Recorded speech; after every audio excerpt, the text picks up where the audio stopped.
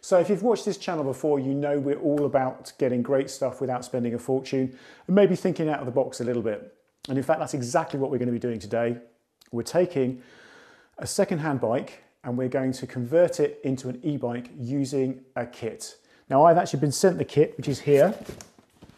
I haven't opened it yet.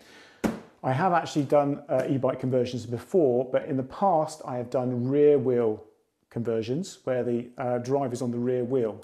This is a mid-drive uh, kit. It's a better quality kit and it actually drives the bike from the pedals, not from the wheel itself. So it'll be very interesting to see how we get on. First thing we're going to do is unbox and see what we've got.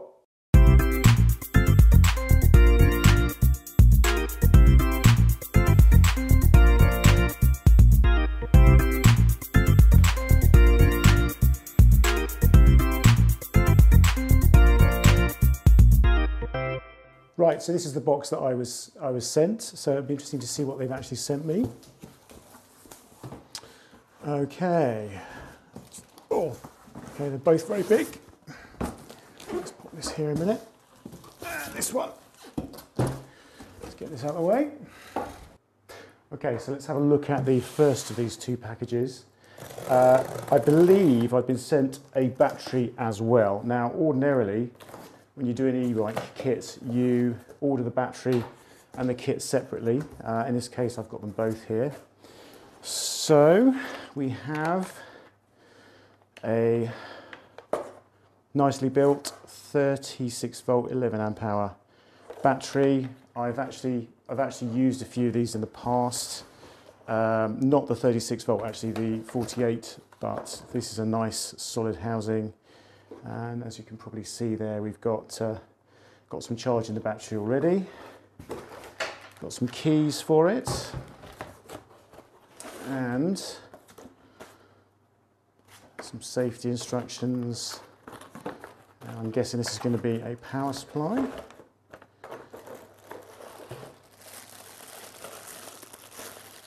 Yep, and it's got a nice UK plug on it, which is great. So no uh, requirement to put another plug on. Okay, so this here is going to be the kit, hopefully. Aha, right. Not actually sure what that is. I've had them sent to me before. I think it's like a sort of a scarf or a bandana. This has actually got some bullet connectors in it as well. Um, could, be, could, could, be quite useful when uh, fitting it together. That is, I believe, to help remove the existing uh, pedals. Useful little tool that.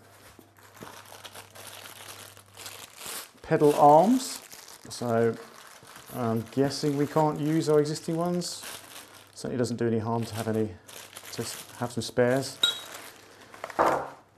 That That looks like a speed detector of some kind.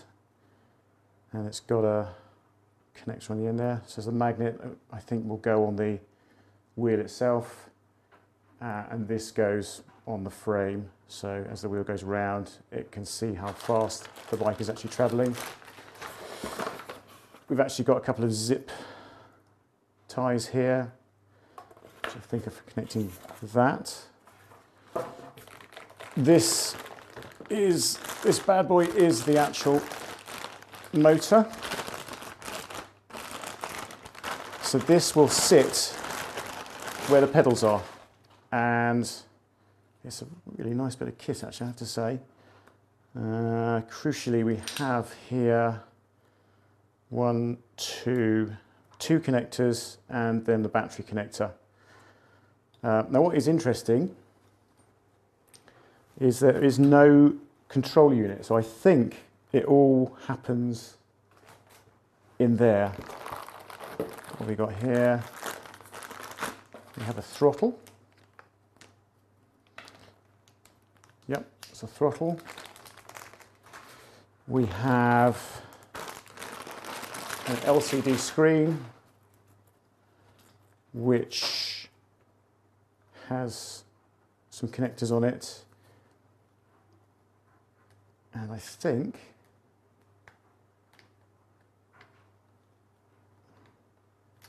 Yep, some connectors there. I think that's for the two brake levers and the throttle. And two brake levers. So one thing immediately strikes me, which is, oh, there's a little controller here as well. So I think that's for the, um, I think that's for the control screen there. So one thing immediately um, strikes me, which is that if we're going to use these brake levers, which I think we should, because uh, there is a danger with an e-bike that you you pedal and you brake at the same time. And of course, you're going to wear your brakes out, and it's just not a good idea. So uh, that's why these kits come with these brake levers because they've actually got switches in them. Uh, and once you connect those into the control unit, that will then stop you from actually being able to power the motor when you have the brake um, pulled like that. So um, yes, we should use those, but the current donor bike I've got has brake levers with gear selectors built in. So what I'm going to have to do is buy a separate gear selector system so we can use these as well. Um, these are nice quality actually, they're metal. Actually probably an improvement on the ones that are actually on the donor bike. So, let's have a quick look at the instructions. And interestingly, they are nicely laid out, but yeah, there's the there's the um, speed sensor. Yeah, interesting. They assume that you've already removed your existing pedals by the looks of things, and there is no information about how you fit the throttle and the brakes. So that is something that I'm going to have to kind of work out myself. Hopefully I will be uh, able to sort of forge the way for you. So there we go. There is the kit. Uh, I have to say, first impressions are it's actually pretty well made. Uh, it'll be very interesting to see how it goes on the bike. My guess is it actually will be more straightforward than some of the uh, rear-wheel drive kits I fitted, just purely because there's no controller unit. So less cables to run, so hopefully a neater installation. We'll see how we get on. So this is the donor bike that I've chosen. I actually bought this one from a friend, but you can pick these up for around the 70, 80 pound mark from places like Facebook Marketplace if you shop around. Um, the key features I'm interested in are these disc brakes here, which are cable operated. Really helpful when you've got the extra power of the e-bike kit. And likewise, um, these shock absorbers here really helpful when you've got that extra speed going over sort of bumpy terrain.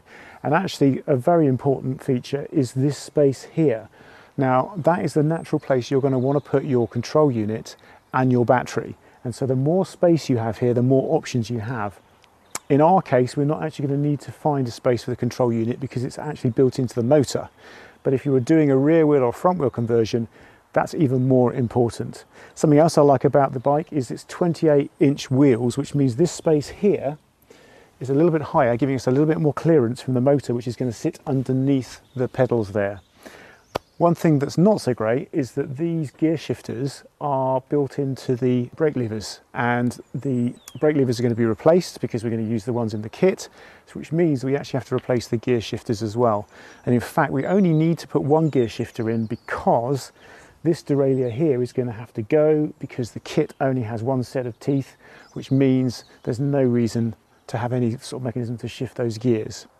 And looking at that bottom bracket there, obviously make sure that the bike is the right size for the kit that you've got. In this case, it's a JIS 6873 bracket.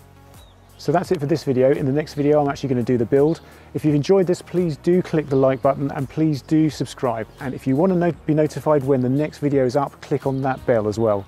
Hopefully see you in the next video. Thanks for watching.